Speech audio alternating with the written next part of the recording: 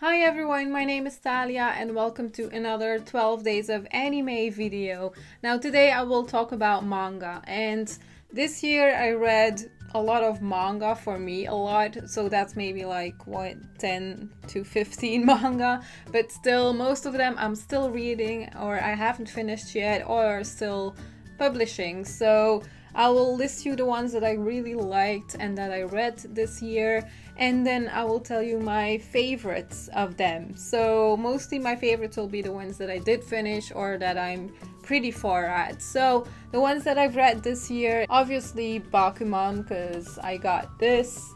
The I got the manga at October, something like that. And then we have, of course, Nanatsu no Taizai. Ugh, books Nanatsu no Taizai, Seven Deadly Sins that I'm pretty far at right now. And then we also have, God, I'm just gonna get my whole manga collection out. We have Claymore as well. I'm not too far into Claymore yet, although people think I am, but I did see the anime, so I saw everything and then I was just excited to know what was going to happen next but I'm not at that part yet in the manga so I don't know what happens after the anime yet and mostly because I'm just reading too much at the moment and I can't really go from one manga to another. I always focus on one. I read that for a while and then I switch over to another one. That's also why my Bakuman reviews take that long because I read a lot of Nanatsu no Taizai lately and yeah, that's what happened. So we have those three already. Then we also have Attack on Titan, which I'm not gonna get because otherwise I think I'm my all my books are gonna fall probably, so that's not good. so Nanatsu no Taizai, Attack on Titan. We also have One Punch Man, All You Need Is Kill, um, Harumatsu Bokura, Noragami, Onani Master Kurosawa, Seven Days, Densha Otoko. Um, let's see if I'm saying something. Oh yeah, Boku no Hero Academia. Um, but i am still at like the first five chapters. I have not had time yet to read more, and I really need to get on that because apparently it gets really good. And my favorites out of those are one. Well, that this it, this is not a top 5 or 10 or whatever. This is just the ones that I really enjoyed. One is All You Need Is Kill. I finished that one pretty fast and I was also reading it while it was still publishing. So yeah, whenever a new one came out, I really wanted to read it. It's also a short series, so I do recommend you reading this one. It's very exciting as well. Then second one that I really liked is Nanatsu no Taizai, Seven Deadly Sins. Couldn't get enough of that once I started reading, I just kept on reading and reading. I still need to catch up. I'm not too far from where they are now, so I'm pretty happy with that. It's just very exciting, better than the anime, and it's just awesome. I really like the characters and how the story is going, especially that.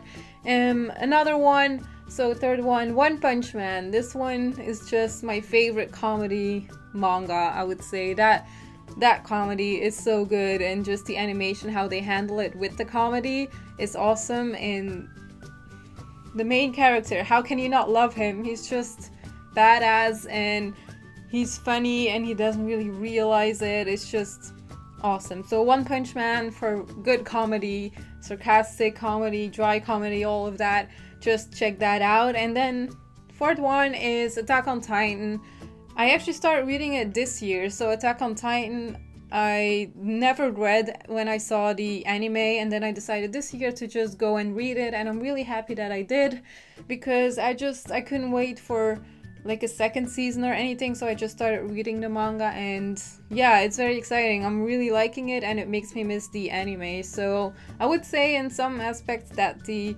manga is better, and then you have some other points where the anime is better, but I might go into that in another video because that's not for today. So we have Attack on Titan as well. After that, number five is Onani Master Kurosawa.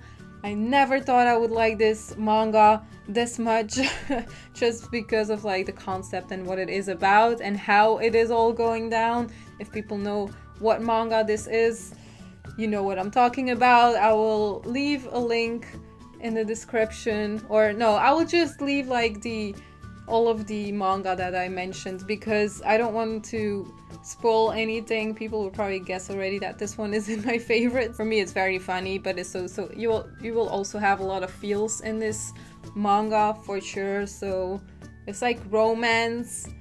Comedy is not really a genre, but for me, it's it's just funny. Some situations and slice of life, kind of, I guess. It yeah, something like that. So yeah.